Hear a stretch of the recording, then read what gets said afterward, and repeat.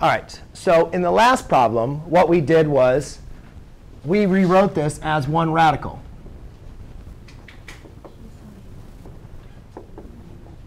Right?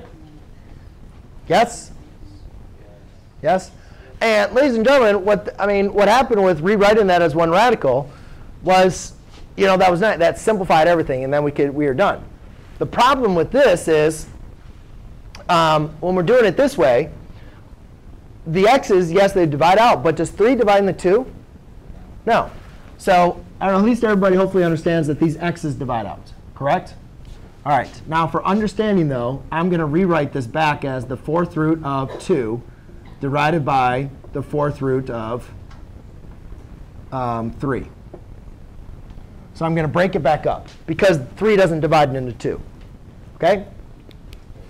All right, here's the identity element that is so important. The nth root of a raised to the nth power equals a. Keep on. A would be like your 2, and n would be like your powers. Right? So in this case, actually, let's go and put it up here. Let's put them in different colors. Maybe that will help you guys out.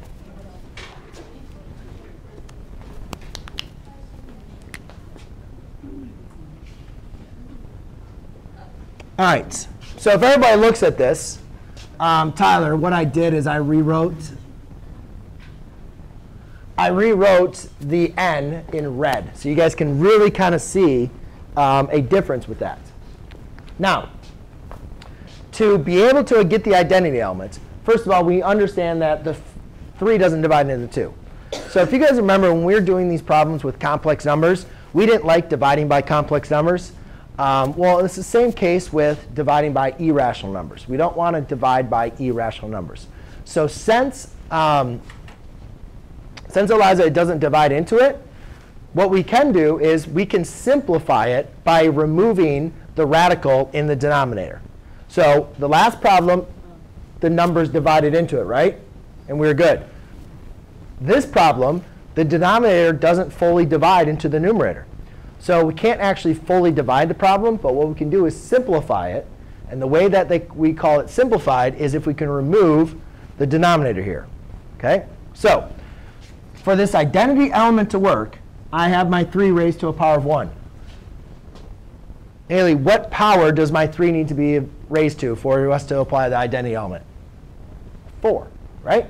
So therefore, what do I need to multiply 3 to the first power to to get 3 to the fourth? Which would be, Keith?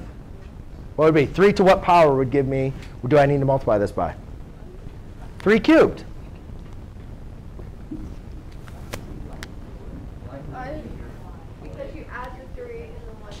Remember last class period we did the rules of exponents? If you have x to the m times x to the n, that equals x to the m plus n. 3 to the first power times 3 to the third power equals 3 to the fourth power.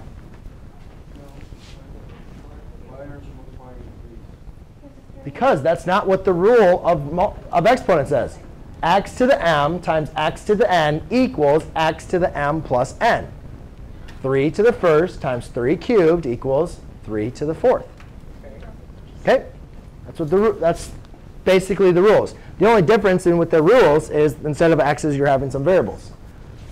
Now, here comes the problem, though, with looking at this.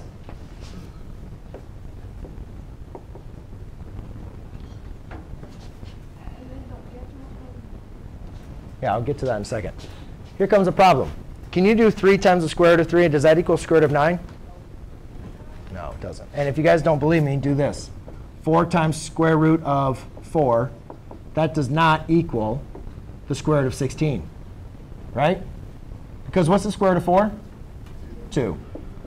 4 times 2 equals 8. Right? The square root of 16 is equal to 4. So do you guys see how that doesn't work? So Kelsey, what I, the main important thing to be able to multiply this, what we have to do is we have to have this under a root. And we have to have it under the fourth root. So to finish this problem, to rationalize the denominator,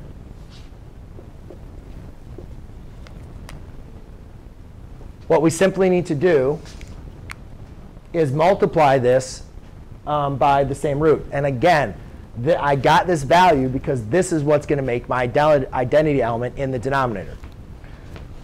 Usually, I don't like to actually tell you what, the, or figure out what the number is. We know 3 cubed is what, 27, right? Rather than writing it as 27, I like to keep it like this, again, so you can see using the rules of exponents.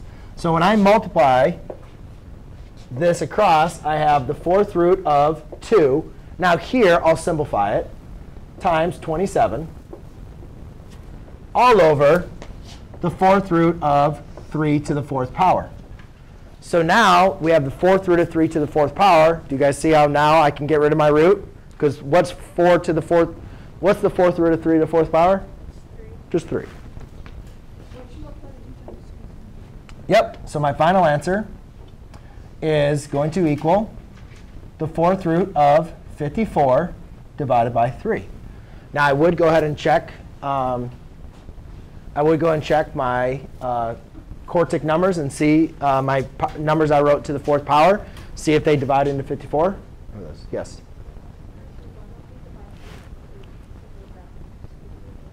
You mean divide the 3 into that? Just like I said, you can't multiply a number outside of radical, inside of radical. You can't multiply a number outside of, or you can't divide a number outside of a radical into a radical. For instance, square root of 4 over 4. You're telling me that that is the same thing as the square root of 1, which is 1. Correct?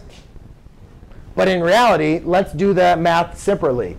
The square root of 4 is 2 over 4. That answer is 1 half. So doing it this doesn't work.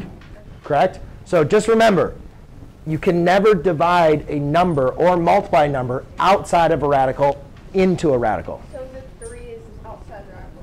Right. It doesn't. It's not inside a radical. Any last questions? Okay. Well, ladies and gentlemen, in in honor of having